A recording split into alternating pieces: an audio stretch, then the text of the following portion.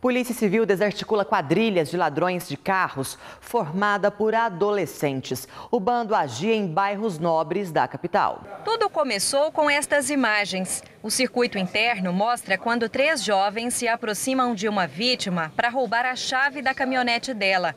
O crime aconteceu no setor Bueno, em Goiânia, no mês de março. Quem aparece é Pedro Henrique Gouveia, de 19 anos, William Daniel Nascimento, de 18 e um menor.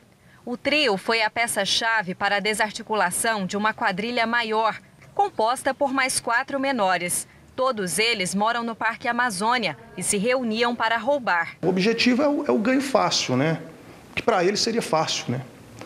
É fazer dinheiro, é querer ter uma, uma roupa boa, um status no meio, principalmente nesse meio deles, né? Mesmo se vendo nas imagens de circuito interno, um dos suspeitos negou o crime. Que, que carro é esse? De uma caminhonete roubada no setor Bueno.